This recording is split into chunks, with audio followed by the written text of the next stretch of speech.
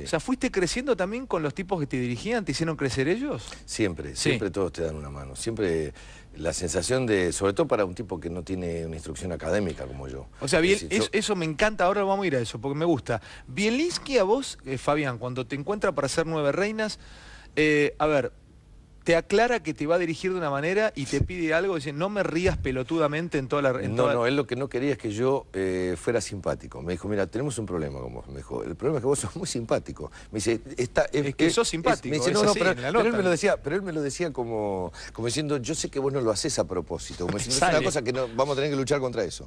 Me dice, este personaje no quiero que sea simpático, no quiero que tenga la aprobación de la audiencia no lo quiero, no quiero que sea así, así que no te vas a, ni siquiera te vas a sonreír. ¿Ese era Marcos?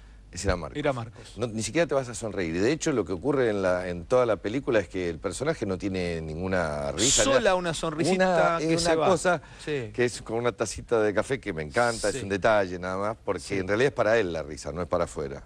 Es, se ríe consigo mismo. El mozo donde va a ser una de las tantas le apoya mal el café la taza se la tira así, se la deja como de mala gana y Marcos, a quien va a cagar, hace es una pequeña sonrisa como diciendo, espera dos minutos que ahora vas a como te la pongo ataca. Pero, claro, pero es para él, no es para afuera. Entonces esa la dejó. Pero después no quería, claro. para nada. Por eso fíjate que hasta por ahí habrás descubierto con Mielinski cosas que no conocías de tu propia capacidad de, actuar. No tengas duda. ¿Mm? Porque él, los buenos directores tienen esa condición, esa capacidad de empujarte contenerte para después empujarte a que te atrevas a algo que no hiciste. Eh, la, versión de Nueve Reinas es criminal en Estados Unidos? Sí. Es criminal. No funcionó mucho en Estados Unidos, ¿no? No, por suerte no, porque es, es, eh, criminal lo que hicieron. ¿Ah, sí, Por eso le creo que le pusieron criminal al título. ¿Por qué? ¿La, la deformaron mucho? Leyeron mal el libro. Me estás jodiendo. Te lo juro, leyeron mal el libro. No, eh, no, hay ninguna otra explicación. No puede no funcionar esa historia. Esa historia es... Pero ¿sabes por qué leyeron mal el libro? Y te das cuenta claramente, para cualquiera que tenga más o menos un poco eh, porque es una obra de a pie. La obra es una obra de a pie. Este, todo el tiempo de a pie, es callejera de a pie. Sí. De a pie. ¿Y allá? Es, de, allá la instalaron en Los Ángeles, que no hay ninguna chance de andar a pie no, en no nada. No hay vereda en Los Ángeles. No, no hay ni veredas hay. y, pusieron a los dos tipos arriba de un Mercedes-Benz. Y además... Eh, se equivocaron en los roles. Eh, son dos muy buenos actores los dos, John C. Reilly y Diego Luna. Excelentes los dos, cada uno a su estilo pero están cambiados los roles. El, veterano, que es el personaje de Marcos, digamos, original, es el que tiene que tener cara de turro y el otro es el que tiene que tener cara de angelito y por eso es que pasa lo que pasa. Y ahí difícilmente Diego Luna tenga cara de angelito, sobre todo en Estados Unidos, porque es de origen es mexicano. claro. es mexicano. Y, John C. tiene una cara de bueno que se cae.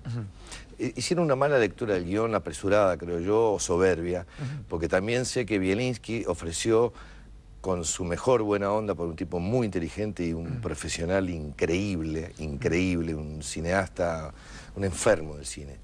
Eh, él ofreció sus servicios, no tenía nada que ver pero él ofreció si querían... Para, para coacharlos un poco, para explicarlo, para, adaptarla. Ofreció que si querían, por el tema de la adaptación, un tipo que hablaba en inglés y demás, y necesitaban algo, que yo le dijeron que no, no. Y después pidió permiso para ir a visitar el set en Los Ángeles cuando estaban filmando, y, y no solo no se lo dieron, sino que le dijeron que estaba prohibido para él pisar el set. Ah, bueno, está bien. Entonces, ah, por boludos. Ah, ahora, morfense A lo mejor tenían miedo. Claro. ¿De qué tenían miedo? ¿Querés repetir un café conmigo? Dale. ¿Tenés ganas? No, dos cafecitos mientras seguimos charlando. Escúchame, me quedaba tranquilo el otro... Va, por lo menos me relajó. Pues es que yo no tengo ningún tipo de formación académica. Y, y me, es natural charlar y entrevistar. Pero bueno, uno trata de... Somos conversadores. Claro, pero no es lo que a mí me, me duele y es mi, mi eh, asignatura pendiente, no haber podido terminar una carrera. Empecé varias y no pude terminar. Me dejó tranquilo el otro día escuchar que hay dos periodistas, a los cuales me parecen son buenos periodistas, que son Lanata y Longobardi, que tampoco tienen estudios. O sea, Longobardi no terminó la secundaria según lo que leí. Y es un maestro de lo que hace. Y, el Gordó también, o sea, se podrá decir cualquier cosa, pero el tipo haciendo periodismo es bueno. Vos no tenés tampoco formación, este, de o sea, no pasaste 15, 10 años en un conservatorio o, estudiando teatro. Eso me interesa y me gusta ahondarlo. A ver, contame. O sea, no, no estudiaste. No es algo que me, produzca orgullo. No, está bien, no, no, no, no, hago alarde de eso. En realidad me gustaría tener más instrucción. Se fue dando como oficio. No, lo que pasa es que a mí se- el- el- lo que ocurrió conmigo y con mi hermana también un poco, es que se dio medio como en el circo. En el circo no, los hijos de los trapecistas no van a aprender trapecio eh, en la escuela. Claro, tenías en tu casa. Están vos. ahí en el circo. Claro. Y pasa un poco así. Yo sé que suena medio como una exageración, pero eh, me parece que es algo que, un paralelismo que se puede establecer mínimamente.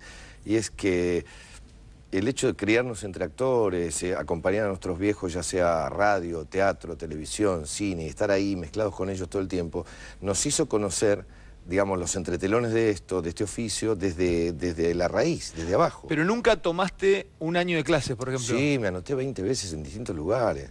Lo que pasa es que no tuve mucha suerte en ese sentido.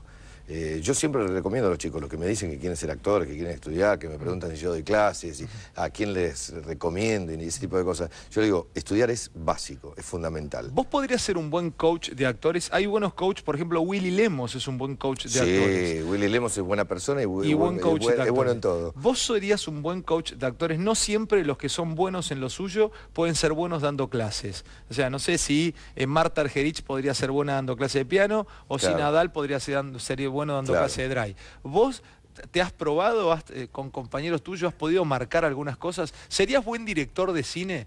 Este, sos, o sea, en algún punto el, Sí. el actor es director también y este, guionista. Pero ¿serías bueno vos dirigiendo teatro, dirigiendo cine? ¿Te considerás bueno también, marcando cosas? Sí, yo creo que sí, Sí. que podría ser incluso mejor que como actor. ¿En serio? Sí, porque muchas veces pienso que no, no, no soy tan bueno como actor. No, eso es una boludez. No, no, te lo Eso- estoy diciendo, no estoy es- buscando, no es una falsa modestia, no te estoy hablando de... Ujú. mm, ¿A qué le llamas? ¿A qué no. le llama? Me interesa eso, ahondarlo. ¿A qué le llamas que a veces te consideras que no sos tan bueno como... Hay, hay veces que no me gusta lo que hago, no me gusta el resultado de lo que hago, o no me gusta el proceso de investigación o el camino de aproximación a un personaje, a veces considero que no lo hago correctamente. ¿Cómo preparaste el cura de elefante blanco?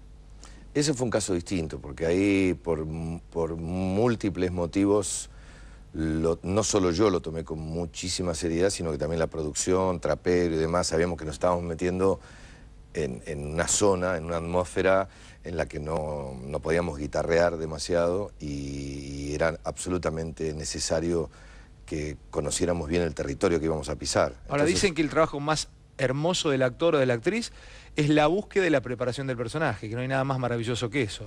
Es probable, es probable, sí, es, es, es lo, que te, lo que te alimenta, lo que te...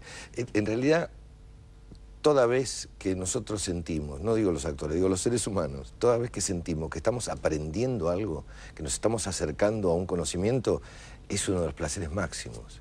Por eso es que eh, defiendo tanto el tema de la educación, porque es lo único que nos puede elevar un poco nos puede alejar de ciertas de ciertos aspectos de la condición humana que a veces nos tiran para abajo o que nos hacen mostrar zonas un poco Más complicadas. o- más complicadas, un poco polémicas. La- el conocimiento, la educación, Mm. la cultura a- atentan contra la soberbia, atentan contra el yo tengo razón y vos no. Eh, empezás a darte cuenta de que hay muchas más cosas relativas de las que uno cree. Sí, las sociedades más cultas, o las sociedades, no sé si más cultas, más preparadas, tienen menos nivel de confrontación, ¿viste? Discuten desde otro lugar y hay menos violencia. Eso es, este... Sí, sí, sí, eso es... eh, debería ser así. Sí. Todo, digamos, si tenemos la sensación de que avanzamos Mm. como sociedad, como especie, Mm. Vayamos más allá. Sí, como sí. especie, Sí. tendríamos que estar pensando en otras cosas, aparte de las que ya se están pensando, Mm. que me parece bien, pero eh, cómo cuidarnos entre nosotros, protegernos, querernos, Mm. eh, tratar de descubrir cuáles son los mecanismos que hacen que, que tengamos la mecha tan corta. Sí, no, es terrible, ¿no? Estamos, somos un cañón napoleónico todos en esta época.